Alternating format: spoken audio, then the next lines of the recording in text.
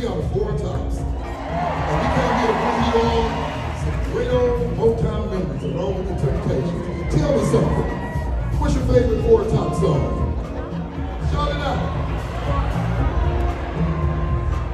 What you say back there? Okay, I'll tell you what. We'll just do them all. What about that? But before we get to that, let me introduce you to the fellas tonight.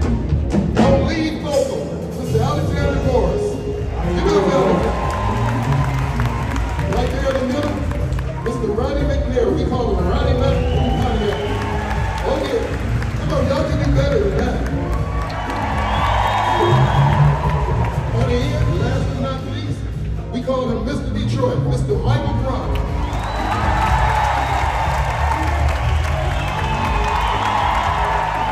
Oh yeah. Oh yeah. Now listen, I just have a Whoa, whoa, whoa, couple of whoa, whoa, announcements to make. whoa, whoa, stop. We gotta introduce you. Oh, shit.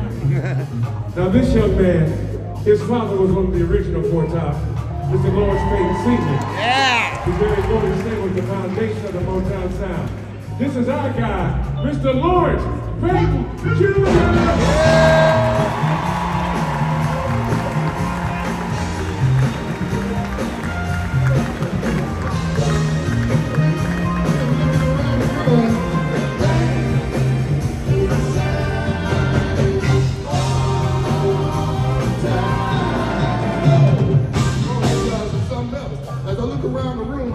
a little look of confusion from a few of you guys. You look a little perplexed. I can almost know what it is, too. A few of you are wondering, well, where's that guy, Mr. Duke Fakir, here, that original guy? Where is he at tonight, right? Well, let me tell you, he had a couple, couple of months ago, he had a procedure done. It's gonna keep him away for a couple of more months.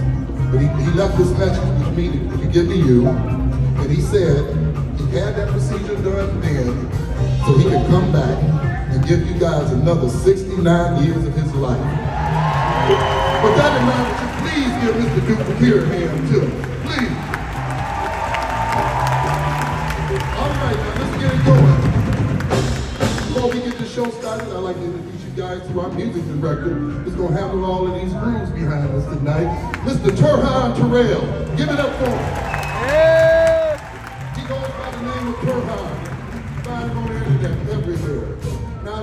Let me tell you a little something about him. His father was Mr. Earl Van Dyke Sr. He was the guy that played behind all of those Motown acts and all of those hits with the Funk Brother.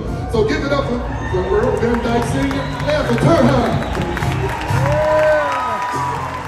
He's accompanied by pieces of the puzzle. All right, so you ready for us?